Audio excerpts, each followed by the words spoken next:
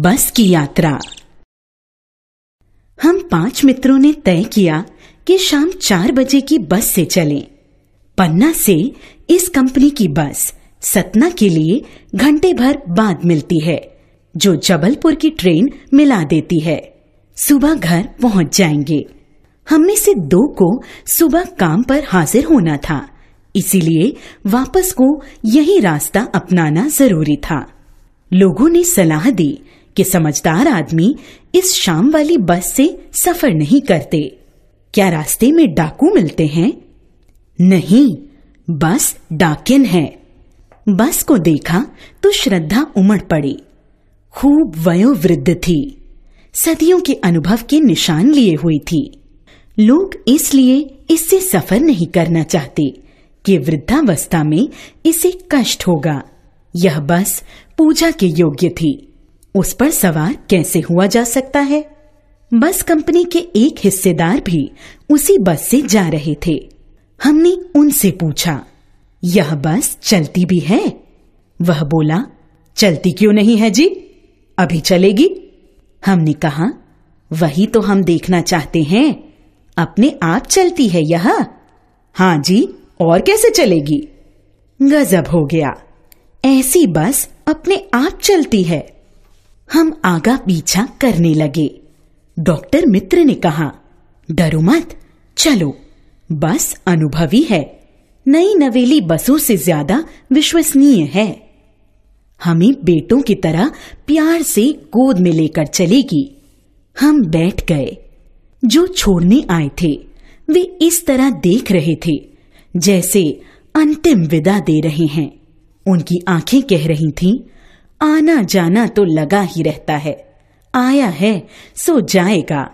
राजा, रंग, फकीर, आदमी को कूच करने के लिए निमित्त चाहिए। इंजन सचमुच स्टार्ट हो गया। ऐसा जैसे सारी बस ही इंजन है और हम इंजन के भीतर बैठे हैं। कांच बहुत कम बचे थे।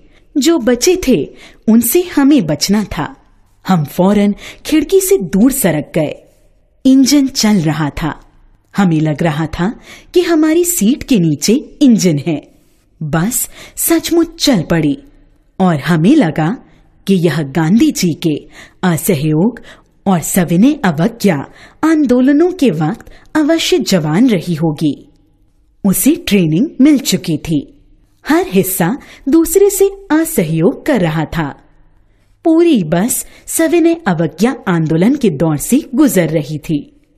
सीट का बॉडी से असहयोग चल रहा था। कभी लगता सीट बॉडी को छोड़कर आगे निकल गई है। कभी लगता सीट को छोड़कर बॉडी आगे भागी जा रही है। आठ दस मील चलने पर सारे भेदभाव मिट गए। यह समझ में नहीं आता था कि सीट पर हम बैठे हैं या सीट हम पर बैठी है। एकाएक बस रुक गई। मालूम हुआ कि पेट्रोल की टंकी में छेद हो गया है। ड्राइवर ने बाल्टी में पेट्रोल निकालकर उसे बगल में रखा और नली डालकर इंजन में भेजने लगा। अब मैं उम्मीद कर रहा था कि थोड़ी देर बाद बस कंपनी के हिस्सेदार इंजन को निकालकर गोद में रख लेंगे। और उसे नली से पेट्रोल पिलाएँगे। जैसे माँ बच्चे के मुँह में दूध की शीशी लगाती है। बस की रफ्तार अब पंद्रह बीस मील हो गई थी। मुझे उसके किसी हिस्से पर भरोसा नहीं था। ब्रेक फेल हो सकता है, स्टीयरिंग टूट सकता है।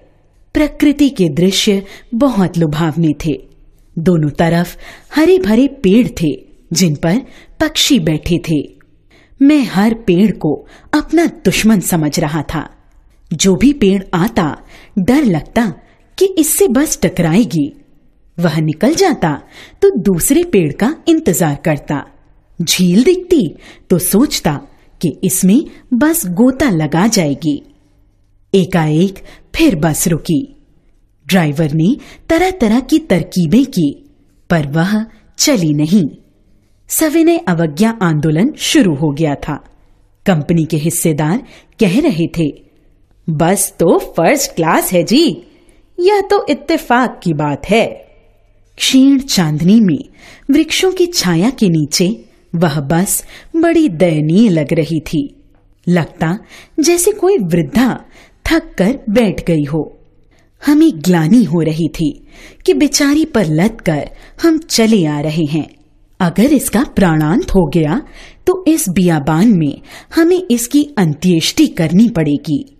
हिस्सेदार साहब ने इंजन खोला और कुछ सुधारा। बस आगे चली। उसकी चाल और कम हो गई थी। धीरे धीरे वृद्धा की आँखों की ज्योति जाने लगी। चांदनी में रास्ता टटोलकर वह रेंग रही थी। आगे या पीछे से कोई गाड़ी आती दिखती तो वह एकदम किनारे खड़ी हो जाती और कहती, निकल जाओ बेटी, अपनी तो वह उम्र ही नहीं रही। एक पुलिया के ऊपर पहुँचे ही थे कि एक टायर फिस से करके बैठ गया। वह बहुत ज़ोर से हिलकर थम गई। अगर स्पीड में होती तो उछलकर नाले में गिर जाती। मैंने उस कंपनी के हिस्सेदार की तरफ़ पहली बार श्रद्धा भाव से देखा। वह टायरों की हालत जानते हैं। फिर भी जान हथेली पर लेकर इसी बस से सफ़र कर रहे हैं। उत्सर्ग की ऐसी भावना दुर्लभ है। सोचा, इस आदमी के साहस और बलिदान की भावना का सही उपयोग नहीं हो रहा है। इसे तो किसी क्रांतिकारी आंदोलन का नेता होना चाहिए। अगर बस नाले में गिर पड़ती और हम सब मर जाते तो देवता बाहें पसारे उसका इंतज़ार करते। कहते, वह महान आदमी आ रहा है, जिसने एक टायर के लिए प्राण दे दिए। मर गया, पर टायर नहीं बदला। दूसरा घिसा टायर लगाकर बस फिर चली। अब हमने वक्त पर पन्ना पहुँचने की उम्मीद छोड़ दी थी। पन्ना कभी भी पहुँचने की उम्मीद छोड़ दी थी। लगता था, ज़िंदगी इसी बस में गुजरनी है, और इससे सीधे उस लोक को प्रयाण कर जाना है। इस पृथ्वी पर उसकी कोई मंजिल नहीं है। हमारी बेताबी, तनाव खत्म हो गए। हम बड़े इत्मीनान से घर की तरह बैठ गए। चिंता जाती रही। हँसी मज़ाक चालू हो गया।